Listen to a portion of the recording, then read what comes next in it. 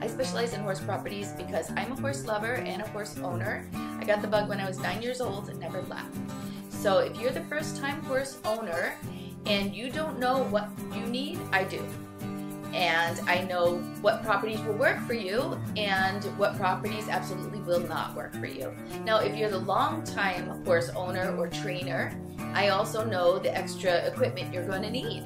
I've worked with trainers and instructors and breeders, and so I know the facilities they're going to need on their ranches. So I can help you both.